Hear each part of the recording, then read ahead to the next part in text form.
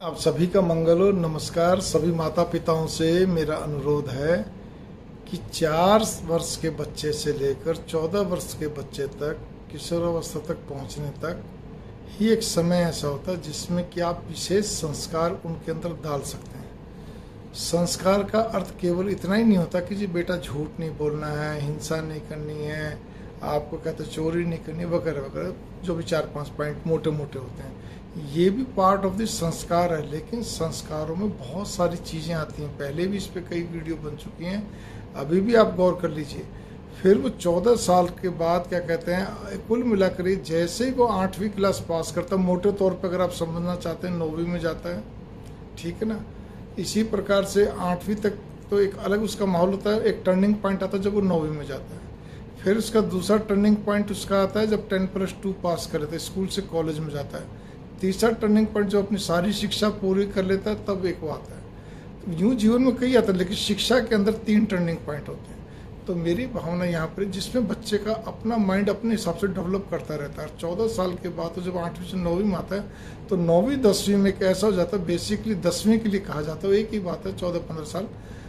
तो दसवीं के अंदर उसका दिमाग ऐसा हो जाता है कि वो अपने हिसाब से सोचता है, अपने हिसाब से चलता है। कुल मिला के आजकल बच्चों को नौवीं से होने शुरू हो गया, ठीक है ना?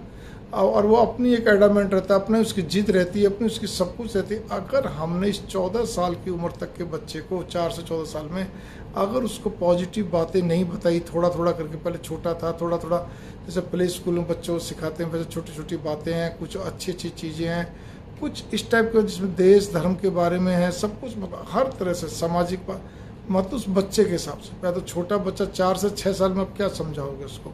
बहुत छोटी छोटी बातें नॉर्मल बातें लेकिन वो समझानी ज़रूरी है उसमें, उसके शरीर के छोटे छोटे बारे में सब कुछ है। ज्यों जो बड़ा तो भगवान के बारे में सब चीज़ मतलब फिर उसके बाद छः साल से क्या कहते हैं, आपका जो एक पीरियड आता है, आपका दस साल का पीरियड उसको चौदह साल की उम्र में भी तीन हिस्से करिए आप। चार साल से छः साल तक छः साल से दस साल तक और दस साल से चौदह साल तक, ठीक है ना जी?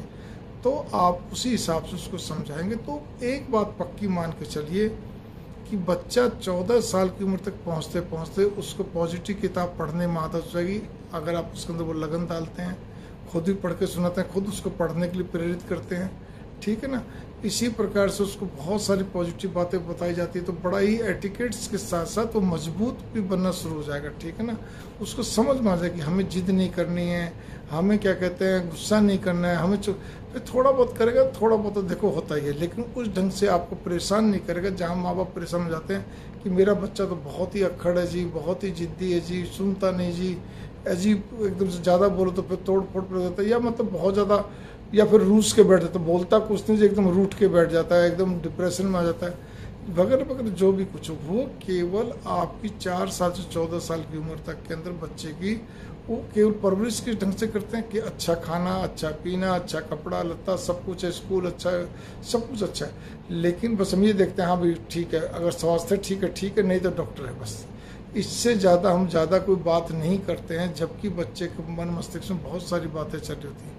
फिर वो उसके संगी साथी जैसे भी होते हैं उसका अपना दिमाग डेवलप होता रहता है। और आज के समय में तो आपको बहुत ज़्यादा सचेत रहना चाहिए, सजग रहना चाहिए। मैं सभी माता पिता कह रहा हूँ, क्योंकि अब आप उसको किसी दोस्त की ज़रूरत भी नहीं अगर है तो अलग चीज़ मतलब दूसरी बात कहना चाह मेरी भावनाओं पर गौर करिए, उसका सबसे बढ़िया दोस्त हो जाता है ये गजेट्स।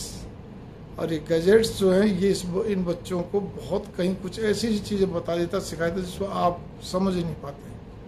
तो इसीलिए आपकी अपनी भी क्या कहते हैं आप तीस मिनट से लेकर साठ मिनट तक बच्चों के साथ बैठना चाहिए। खाली ये नहीं उस समय कि पढ़ पढ़ बेटा पढ़ाई करनी नाम कमाना, बड़ा बनना, व्यापार अच्छा करना, या प्रोफेशनल बनना, या सर्विस अच्छी पकड़नी, वो बातें अलग हैं। उसमें तो केवल बच्चों के मनोभाव को देखते हुए केवल अच्छी अच्छी बातें करें। कोई गेम नहीं, कोई चुटकुलेबाजी नहीं, कोई कविता नहीं, कोई उछल कूद नहीं, कोई कुछ नहीं। गेम खेलना बच्चे के साथ अलग खेलिए गपबाजी करनी अलग करिए, लेकिन वो तीस मिनट से साठ मिनट तक आपके लिए बहुत बहुमूल्य, नहीं, अमूल्य होते हैं प्रीशियस होते हैं, जिसमें कि आप बच्चे को कुछ पॉजिटिव बातें समझाने का प्रयत्न करते हैं लेकिन वो जब होगा, जब आप भी कुछ पढ़ेंगे, कुछ अच्छी चीज़ सुनेंगे तो उसको छोटे छोटे शब्दों में बताएँगे। फिर चौदह साल से लेकर, फिर उसके बाद क्या कहते हैं, आपकी एक उम्र आती है चौबीस पच्चीस साल तक की, जिसमें बच्चा लगभग लगभग आमतौर पर बच्चे एक मोटा मोटी तौर पर अपनी एक पढ़ाई की शिक्षा दीक्षा पूरी कर लेते हैं, ठीक है ना?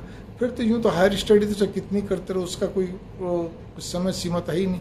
तो उस जगह पर क्या रहता है कि वहाँ पर बच्चों को फिर ज़बरदस्त ढंग से मजबूती बनाने वाली दुनियादारी की बातें बतानी चाहिए, जिससे बच्चा दुनियादारी में मज़बूत बने। जब भी पास आउट होकर निकलेगा, जब बच्चा तो एकदम मज़बूत बन के निकलेगा, उसको बहुत सारी बातें समझ में आएँगी, सब कुछ है। लेकिन वो बातें कैसे बताओगे आप?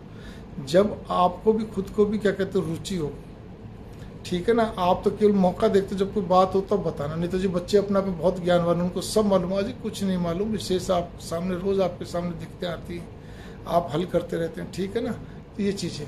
आपके पास कोई, क्या कहते हैं, कोई अच्छा व्यक्ति भी होता है कोई मेरे जैसा तो कुछ ऐसे भी हैं जो लाने में भी, उनको बात करवाने में भी सकते उनको लगता है नहीं ये ज्ञान की बात है। ज्ञान की बात बच्चा क्या करेगा? ये कोई ज्ञान की बात नहीं, केवल दुनियादारी की बात है।